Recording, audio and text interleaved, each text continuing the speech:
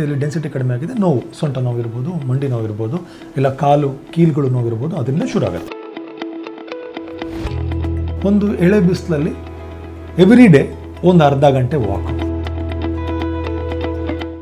ಸೂರ್ಯನಿಗೆ ನಾವು ನಮ್ಮ ಮೈಯನ್ನು ಒಡ್ಡಬೇಕು ಬರೀ ಕೂತ್ಕೊಂಡು ಎ ಸಿ ರೂಮಲ್ಲಿ ಕೆಲಸ ಮಾಡ್ಕೊಂಡು ಬೆಳಗಿನ ಸಂಜೆವರೆಗೂ ಇದ್ದರೆ ವೈಟಮಿನ್ ಡಿ ಡಿಫಿಷಿಯನ್ಸಿ ಆಗೇ ಆಗುತ್ತೆ ಕ್ಯಾಲ್ಶಿಯಂ ಡಿಫಿಷಿಯನ್ಸಿ ಆಗೇ ಆಗುತ್ತೆ ಆಸ್ಟ್ರೋಪೋರೋಸಿಸ್ ಆಗೇ ಆಗುತ್ತೆ. ನಡೆದಾಡಬೇಕು, ಓಡಾಡಬೇಕು, ದಿವಸಕ್ಕೆ ಒಂದು ಗಂಟೆ, ಅರ್ಧ ಗಂಟೆ ಓಡಬೇಕು ಜಾಗಿಂಗ್ ಮಾಡಬೇಕು ಇಲ್ಲ ಸ್ವಿಮ್ಮಿಂಗ್ ಮಾಡಬೇಕು, ಬಿಸಿಲಲ್ಲಿ ಓಡಾಡಬೇಕು. ಆಗ ಈ ವೈಟಮಿನ್ ಡಿ ಡಿಫಿಷಿಯನ್ಸಿ ಆಗಲಿ ಕ್ಯಾಲ್ಷಿಯಂ ಡಿಫಿಷಿಯನ್ಸಿ ಆಗಲಿ ಆಗೋಂಥ ಸಾಧ್ಯತೆಗಳು ಬಹಳ ಕಡಿಮೆ ಆಗುತ್ತೆ.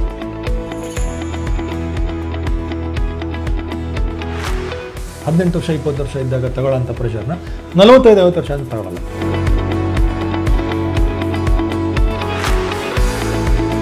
ನಿಮಗೆ ಎಷ್ಟು ಬೇಕು ಇತಿ ಮಿತಿಯಾಗಿ ನಲವತ್ತೈದರಿಂದ ಐವತ್ತು ವರ್ಷ ಆದ ನಂತರ ನಿಮ್ಮ ಬಾಡಿಯನ್ನು ನೀವೇ ರಕ್ಷಿಸ್ಕೋಬೇಕು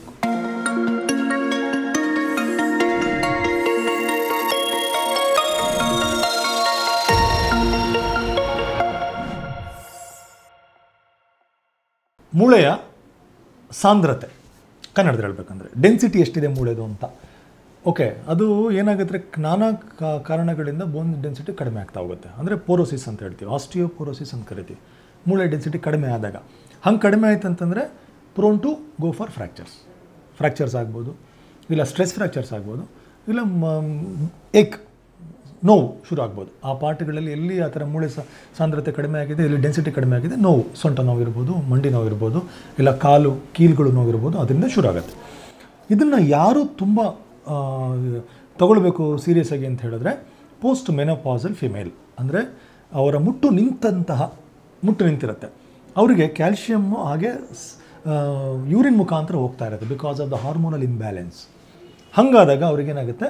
ಮೂಳೆ ಸಾಂದ್ರತೆ ಕಡಿಮೆಯಾಗಿ ಬೋನ್ ಡೆನ್ಸಿಟಿ ಕಡಿಮೆಯಾಗಿ ಅವರಿಗೆ ಫ್ರ್ಯಾಕ್ಚರ್ಸು ಸೊಂಟ ನೋವು ಹಿಪ್ ಪೇನು ಇಲ್ಲ ಅಂತಂದರೆ ಜನರಲೈಸ್ಡ್ ಮಯಾಲ್ಜಿಯಾ ಜನರಲೈಸ್ಡಾಗಿ ಬಾಡಿ ಹೇಗೆ ಬರುತ್ತೆ ನನಗೆ ತುಂಬ ನೋವು ಬರ್ತಾ ಇದೆ ನನಗೆ ಅಂತ ಅನ್ನೋದು because of this post menopausal especially post menopausal female ಇದನ್ನು ಹೆಂಗೆ ಪ್ರಿವೆಂಟ್ ಮಾಡ್ಬೋದು ಅಂತ ಹೇಳ್ಬಿಟ್ರೆ, ನಮಗೆ ಬಾಡಿಗೆ ಕ್ಯಾಲ್ಶಿಯಮು ವೈಟಮಿನ್ ಡಿ ಬೋನ್ ಡೆನ್ಸಿಟಿನ ಚೆನ್ನಾಗಿ ಮೇಂಟೈನ್ ಮಾಡುವಂಥದ್ದು.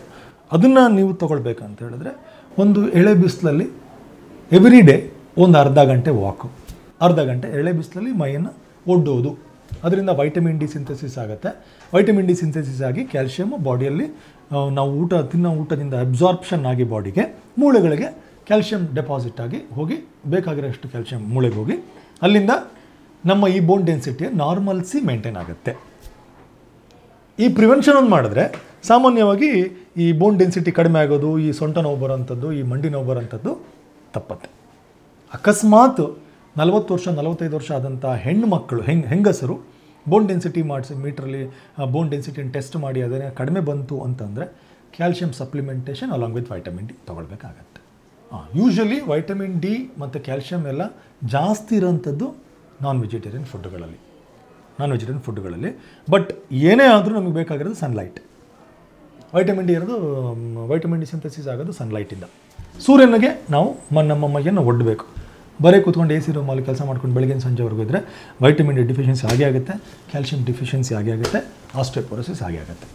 ನಡೆದಾಡಬೇಕು, ಓಡಾಡಬೇಕು ದಿವ್ಸಕ್ಕೊಂದು ಗಂಟೆ, ಅರ್ಧ ಗಂಟೆ ಓಡಬೇಕು ಜಾಗಿಂಗ್ ಮಾಡಬೇಕು, ಇಲ್ಲ ಸ್ವಿಮ್ಮಿಂಗ್ ಮಾಡಬೇಕು, ಬಿಸಿಲಲ್ಲಿ ಓಡಾಡಬೇಕು, ಆಗ ಈ ವೈಟಮಿನ್ ಡಿ ಡಿಫಿಷಿಯನ್ಸಿ ಆಗಲಿ ಕ್ಯಾಲ್ಸಿಯಂ ಡಿಫಿಷಿಯನ್ಸಿ ಆಗಲಿ ಆಗೋಂಥ ಸಾಧ್ಯತೆಗಳು ಬಹಳ ಕಡಿಮೆ ಆಗುತ್ತೆ.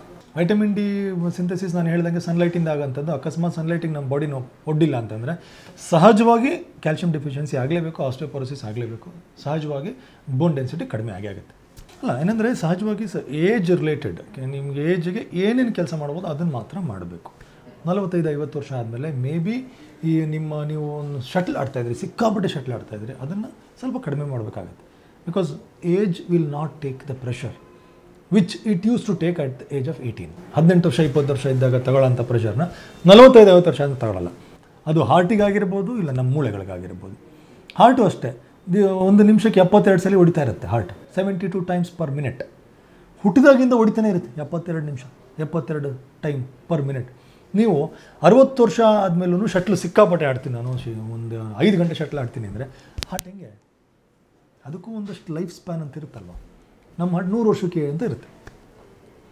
ಮನುಷ್ಯನ ಸಹಜವಾದ ಏಜ್ ಲಿಮಿಟ್ ನೂರು ವರ್ಷ ಅಂತ ತಿಳ್ಕೊಳ್ಳಿ. ನೂರು ವರ್ಷ. ನಾವು ನೂರು ವರ್ಷದ್ದು ಹೆಂಗೆ ಅಂತಂದರೆ ದಿನ ನಿಮಿಷಕ್ಕೆ ಎಪ್ಪತ್ತೆರಡು ಸೆಕ್ ಎಪ್ಪತ್ತೆರಡು ಸಲ ಹೊಡೆಯುತ್ತೆ ಅಂತ ತಿಳ್ಕೊಳ್ಳಿ. ನೀವು ಶಟ್ಲ್ ಆಡಬೇಕಾದ್ರೆ ಇಲ್ಲ ಅಂತಂದರೆ ಇನ್ನೊಂದು ತುಂಬ ವಿಗರಸ್ ಎಕ್ಸರ್ಸೈಸ್ ಮಾಡಬೇಕಾದ್ರೆ ಆ ಎಪ್ಪತ್ತೆರಡು ಪರ್ ಸೆಕೆಂಡ್ ಇರೋದು ನೂರ ನಲ್ವತ್ತು, ನೂರೈವತ್ತು ಪರ್ ಸೆಕೆಂಡ್ ಆಗ ಪರ್ ಮಿನಿಟ್ ಆಗುತ್ತೆ. So you are giving lot of stress on the heart ನಿಮಗೆ ಎಷ್ಟು ಬೇಕು ಇತಿ ಮಿತಿಯಾಗಿ ನಲವತ್ತೈದರಿಂದ ಐವತ್ತು ವರ್ಷ ಆದ ನಂತರ ನಿಮ್ಮ ಬಾಡಿಯನ್ನು ನೀವೇ ರಕ್ಷಿಸ್ಕೋಬೇಕು. ಅದು whether it is related to heart whether it is related to kidneys it is related to liver ನಾನು, ನನ್ನ ಸಿಕ್ಕಾಪಟ್ಟೆ ನಾನು ಹೆಂಗಿದ್ರು ನನ್ನ ಬಾಡಿನ ಹಿಂಗೆ, ನಾನು ದಿನ ಡ್ರಿಂಕ್ ಕೊಡಿದ್ರೆ ಮಾತ್ರ ಸಖತ್ತಾಗಿರ್ತೀನಿ ಅವೆಲ್ಲ ಸುಳ್ಳು. ದಿನ ನಾನು ಆರು ಗಂಟೆ ಶಟ್ಲ್ ಆಡಿದ್ರೆ ಮಾತ್ರ ನಾನು ಸಖತ್ತಾಗಿರ್ತೀನಿ ನನ್ನ ಬಾಡಿನ ಹಂಗೆ ನಾನೆಲ್ಲ ಅಡ್ಜಸ್ಟ್ ಮಾಡ್ಕೊಳ್ತೀನಿ, ಅವೆಲ್ಲ ಅವೆಲ್ಲ ಸುಳ್ಳು. ಯಾಕಂದರೆ ಒಂದು ಸಲ ಹೊಡೆತ ಕೊಟ್ಟಾಗ ಅದು ಇರ್ರಿವರ್ಸಿಬಲ್ ಡ್ಯಾಮೇಜ್ ಆಗಿರುತ್ತೆ, ಆಮೇಲೆ ಹೊಡೆತ ಕೊಡೋದು. ನಾವು ಹಂಗೆ ಅಂದ್ಕೊಂಡು ಎಷ್ಟೋ ಜನ ಇರ್ತೀವಿ. ಎಲ್ಲ ಇತಿ ಮಿತಿಲಿರಬೇಕು ಏನೇ ನಿಮ್ಮ ಅಭ್ಯಾಸಗಳಿದ್ರು ಇತಿಮಿತಿಲಿ ಇಟ್ಕೊಳ್ಬೇಕು.